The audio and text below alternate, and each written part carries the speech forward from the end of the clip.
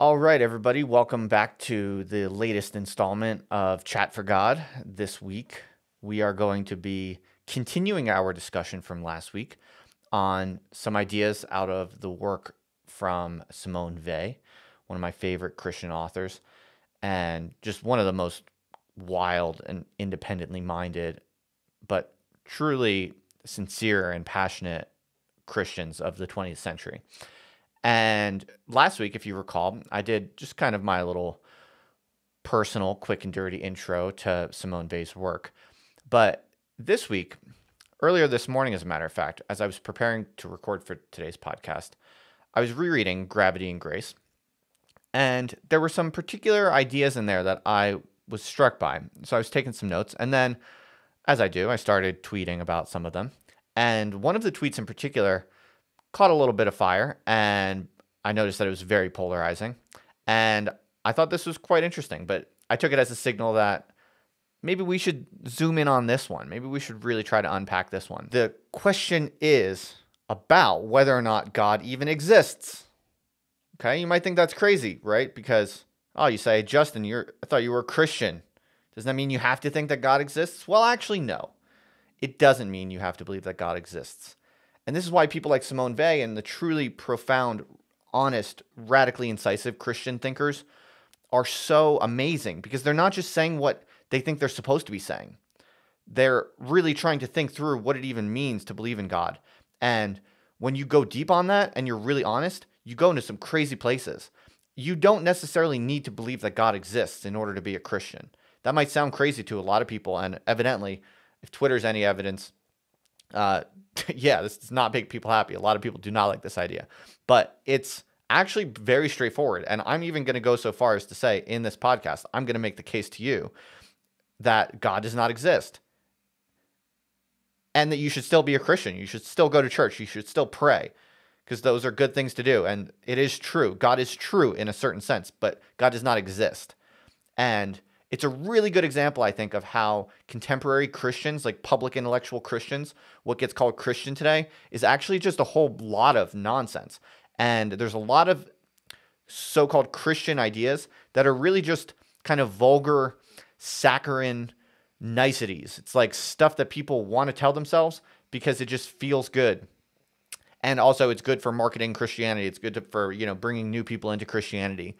But it's often pretty dumb and doesn't actually make sense and often in a weird way kind of betrays the radical truth at the core of Christianity. And I think this is a really really good example because uh, we all want to think, you know, that God exists. If you believe in God, if you're the type of person who believes in God, you generally want to think God exists, God is real, you know, these terms that we use that give things substance in our minds. You want to be able to apply those terms. But that's not what Christianity is about actually. It's if you read Simone Weil, you get a totally different vision of what Christianity even means. God is not your buddy. God is not something that you have access to. God is not, God is radically withdrawn. God has forsaken us. He's nowhere to be found. And that is okay. That's part of what is interesting and significant and ultimately, in an ultimate sense, real about God. That there is something missing, there's something withdrawn. All right. So, we're going to try to unpack all of this because I know for a lot of people it's super confusing, and to some people it's downright idiotic to say that God doesn't exist and to also be a Christian. All right, so that's what we're going to try to unpack today. Let me start with restating to you all, because if you're listening to this on the podcast, you might not have seen this on Twitter, the tweet that I posted. All right, what I said was, I am increasingly convinced that Christianity remains simply misunderstood by almost everybody, including so many Christians.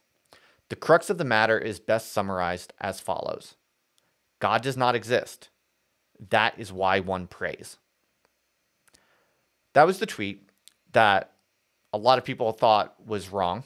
Uh, but then actually, a lot of people came through and agreed with me, and people I quite respect, people like uh, Jacob Phillips, my old friend from England, who's an actual theologian and all around interesting, cool dude who does his own independent thinking and writing on the internet. And also my friend Dana uh, of the Pleasure Helmet podcast. Shout out to both of these people who are really interested in thinking about this stuff radically and honestly. Before we even get into, into the substance of what people like Simone Weil and Meister Eckhart have said on this topic, let's start with just the obvious layer of argumentation.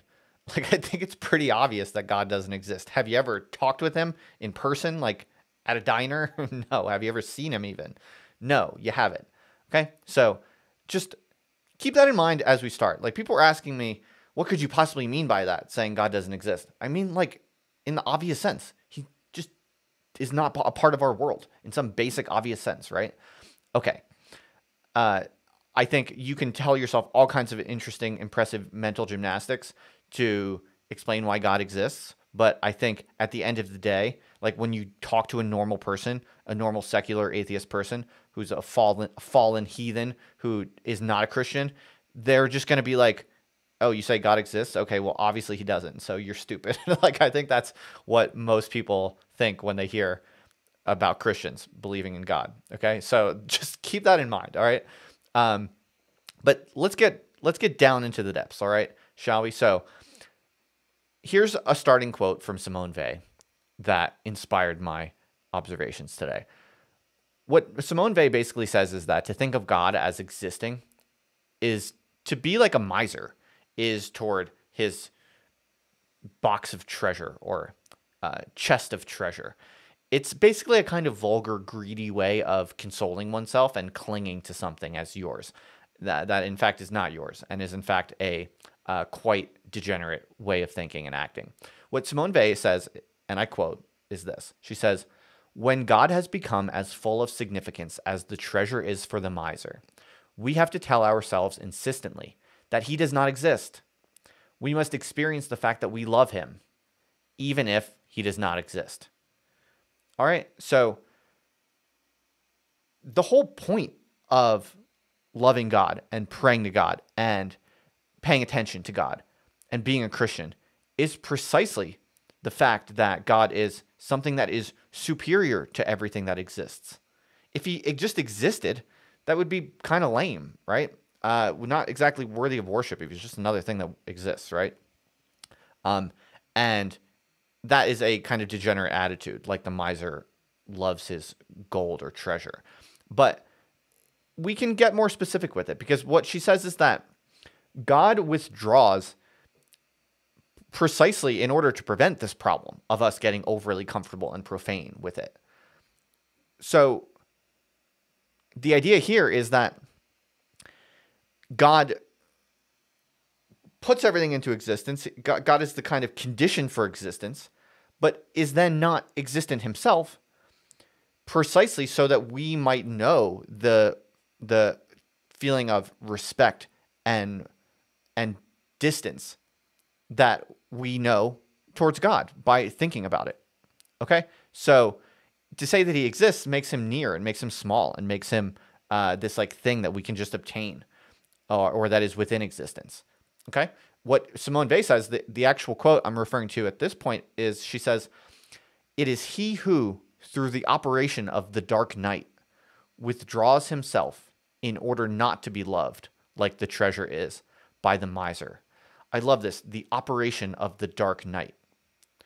God imposes this operation, this kind of mechanism on existence as such to forestall our earthly sinful tendencies to just be greedy and to possess things and to reduce them and to hoard them as a consolation for the challenge of existence itself. Okay? And so this has really important implications. So think about what this means for the activity of prayer, for instance. What Simone Weil is saying is that when we pray as Christians, we're not talking to some guy who exists. That is so dumb and lame, also. We pray in some part because God does not exist. We pray because we are helpless, because there's something seriously missing. God has abandoned us. God doesn't exist. And the difficulty of that void is precisely what we're grappling with when we pray to God. She even goes as far as to say that one should purposefully, when praying, have in one's mind the thought that God does not exist. You should be thinking about that while you're praying. She calls this a method of purification. She says to pray to God, not only in secret, as far as men are concerned, but with the thought that God does not exist. She calls that a method of purification. And the secret here is interesting. It reminds one of Deleuze, actually, who talks about becoming imperceptible. That when you're doing something real and honest and true, you don't need to be signaling it to the public. It doesn't matter if anyone understands. You should not be worried about, you know, communicating the existence of God to other people, trying to convince people that they should be Christian because God is loves you and God exists and God is your buddy. Like that's dumb. You shouldn't be doing that. Um, you shouldn't even tell people that you pray. I don't really tell people that I pray. Frankly, it's because I'm a little embarrassed because Christianity to a lot of people just seems stupid. Uh, and it's obviously a kind of low status thing, but it's also that I don't want to profane what I think is the radical underlying truth of Christianity by putting it into these different kinds of corny terms that you need to put it into if you want it to be understood by people, uh, especially if you want other people to like it. So if you want to speak about Christianity in terms that other Christians are going to be like, oh, cool. Yeah, I like that. I like you. I want to be a part of your thing. You have to basically speak in the most bastardized words that are so corny and cringe. And that's what you want to avoid. And Deleuze says the same thing about philosophy. Basically says you shouldn't be worried about convincing others of your philosophy. You shouldn't be going to academic conferences. You shouldn't even worry about being understood.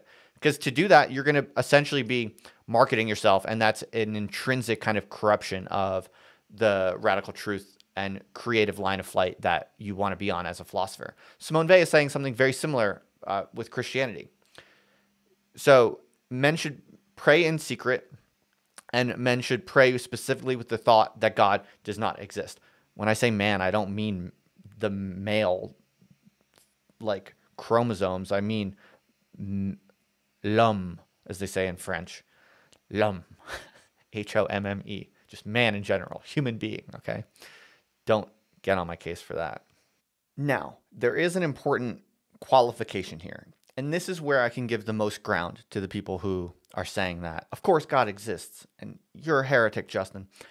And it's the point is this it's that if you love God and if you do pray, while nonetheless thinking that he does not exist or admitting that he does not exist, then he will manifest his existence. And that's pretty much also straight out of Simone Weil. And I think this is uh, absolutely correct insight. What she says is if we love God while thinking that he does not exist, he will manifest his existence. So I think for people who are true believers, to them, it feels like, of course, God exists. Like my friend Ashley, for instance, people who feel God around them all the time. I have nothing but respect for them, and I'm not poo pooing them in any way. I'm certainly not calling them liars. I'm not saying there's anything wrong with that. What I am saying is that you only really get there if you, at least at some point in the past, have confronted the absolute void, what Simone Weil calls the void. And I think for normal, you know, secular atheist people, the void is this non-existence of God. It's it is, it is this reality that God, in in a basic, straightforward sense, does not really exist, and one has to confront that. One has to accept that, and one has to love God anyway. One has to pray anyway. One has to face that void anyway. And if you do that genuinely, then you could say that God's existence is manifested in in some sense. All right. So that's an important wrinkle for sure. I don't want to paint with too broad of a brush. Now, what I want to do though is I want to go into more depth on what existence even means and in the Christian tradition. Because you know what? One of the things I really start to get annoyed at is when, you know, impressive, accomplished, credentialed Christians come at me in my mentions and say things like calling me an idiot and barking at me as if I'm a troll or as if I'm just, you know, trying to draw attention to myself. I seriously don't troll. I really don't. I only tweet things I really think are true in some non trivial sense. I mean, often things mean different things to different people. So that's always a, some source of confusion. But I don't troll. I really don't. For what it's worth, even my friend Ashley, shout out to Ashley, got in the, the Twitter pylon and called my my tweet a weak troll. Ashley, I'm not trolling. And if I do troll, it's not weak. But this is not a troll. Okay. Uh, genuinely. So for all the legit Christians out there, and I've always been very honest that I'm not a good Christian. I don't pretend to be an accomplished or sophisticated Christian. I don't know much at all. But I do think a lot and I do think hard and I do think honestly and I do have some perspectives on it. So I'm just trying to figure that out. That's the whole point of this podcast, all right? To the more sophisticated Christians, I want to I want to play ball a little bit. All right. I think what I'm saying is actually not that provocative. There's a pretty established tradition or lineage that affirms what I'm saying. Oh, Other very smart and impressive, you know, great, genuine Christians out there who have affirmed what I've what I'm essentially saying. So I want to talk about a few examples, some absolute bosses. Let's talk about Meister Eckhart, okay? The uh no big deal. The German theologian and philosopher and mystic who is widely admired and respected. All right. Uh, but also the absolute unit of Western Christianity, Thomas Aquinas himself. Okay. Let's do this. So, my friend Jacob alerted me to a famous quote from Meister Eckhart where he says, by the way, go go say hi to Jacob. He's on Twitter at, at countered logos. And uh, the quote is, in German. I don't know German, so I might totally butcher this, but uh, I don't know how to pronounce it. Ein Gott. Why is it that whenever people uh, say German words, they always do it in the voice of Hitler? That that is some perverse thing where uh, you know the thing that we do-gooder Westerners hate the most is what always creeps back into our consciousness. Okay, I'll, I will avoid saying it like Hitler. Ein Gott, den is gibt, gibt es nicht. And if you put this through Google Translate, it comes out as a God, because there is, does not exist. But what Jacob said is that it is generally translated as a God that exists does not exist. So obviously, we're dealing with paradoxes here. We're dealing with mysteries. We always are when it comes to religion. Okay, but this is a, a I think, very strong little data point in favor of what I'm saying, at least to prove to you, you don't have to believe me. You don't have to agree. Like these things are always very debatable, and I respect that. But I'm just throwing some data points on the table here for the people that are calling me troll or who think I'm just talking nonsense to, you know, provoke discussion or to attract attention. Okay, I'm not. There's good past reasoning to support me. Okay, so that's one. But now let's talk a little bit about Thomas Aquinas. And this came up in the mentions also. A few people were saying that, for instance, you know, that famous line in Genesis about uh, when God basically says in the Old Testament, when God says, I am who I am, or it's sometimes translated as, I am that I am. And it's actually translated in a few different ways. Uh, one is, I am he who is actually, is another way of translating it. So it's obscure. These things are always obscure. But people were pointing that out as an example of the fact that God exists, that that's God saying, I exist. But guess what, folks? It's not that simple. So let me give you an interpretation of Aquinas's famous statement, the, the famous quote unquote ipsum esse subsistens. Okay, so this is a phrase uh, that Aquinas introduced, and it basically means the act of being itself. So the the idea is that God is the actual verb to be itself. That's what God is. That that's how uh, Robert Barron, Bishop Robert Barron, in explains it as quote unquote. It means the sheer act of to be itself. Okay, and Aquinas argued that God is ipsum esse subsistens. God is simply the sheer act of to be itself. Okay? So think about what this really means. What it means is that God does not exist. God is the act of existence. God is the condition for the possibility of existence. Okay, so where does all of this go? Where does this leave us? Ultimately, what I think this means is that if you are leaning towards Christianity, maybe you're interested in it, maybe you feel drawn to it, but you're educated and a rational person and you're just kind of like, you know, I could never really quite say to myself or others that I really believe God exists. So therefore, that's why I'm blocked from getting deeper into my Christianity. Then this is big news for you. Like you, this should not be blocking you from taking your faith seriously and really exploring it further. You don't have to believe that God exists. You don't. There's a very good case to be made that God does not exist. Other people will argue differently, and that's fine. But you can say God does not exist, and you'll be in good company. And there are very reasonable, compelling ways to understand that statement that is fully consistent with a genuine and passionate Christianity. So I would say read Simone Weil, read these more interesting and challenging Christian thinkers who don't just give you what's nice to hear, but give you these dark, deep, weird, difficult reflections. And ultimately, this is what I think is most valuable about Simone Weil in particular. I'm essentially doing a series, I guess, on Simone Weil at this point. And I want to really stress that for her, it's like Christianity is not about making sense with the intellect, and neither is it about feeling good or feeling wholesome or feeling like spiritually uplifted. None of that stuff is what Christianity is about. It's about light. She says that just being able to pay attention with radical accuracy to what exists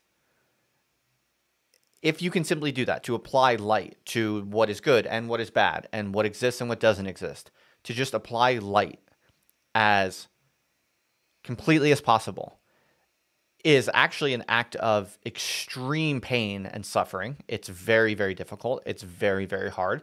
It generally causes great affliction because it really ultimately means detachment from things and everything you think you love and know, uh, all of it pretty much gets destroyed when you allow enough light to be shown upon it.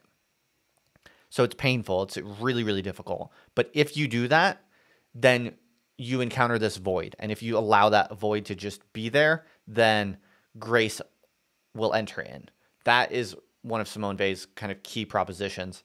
And, you know, I think that is a very, very wise message and ultimately a true message. That to be a Christian, it's not like, you know, walking around and saying cringe stuff about, like, you know, are you ready to let Jesus into your heart? Like, I'm not saying that's bad to say, it's fine, but that's not what it's about. And if that turns you off, I think there are good reasons why that should turn you off because it's not about that kind of sweet saccharine consolation. It's about like deep, difficult, often almost unspeakable truths related to our challenge that we face in existing as limited, highly limited, fallen creatures. And yeah, I think that's essentially just what I want to leave you with. That intellect and the imagination are for Simone Weil two of the biggest obstacles.